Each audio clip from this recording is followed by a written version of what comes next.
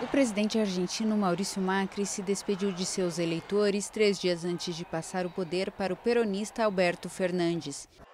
Que ele tenha certeza de que, depois de muito tempo, encontrará uma oposição construtiva e não destrutiva. Uma oposição construtiva e não destrutiva. No ato em frente à sede do governo, Macri destacou que alcançou muitos resultados, sem dar mais detalhes. O país está em crise devido à recessão, inflação superior a 50% ao ano e dívidas. Macri está envolvido em quase uma centena de casos judiciais, entre eles de corrupção em negociações de estradas, correios e energia eólica. Jamais Tivemos mais estradas, saneamento e redes de água potável em quatro anos de Macri do que em 100 anos. É impossível dizer que não é excelente.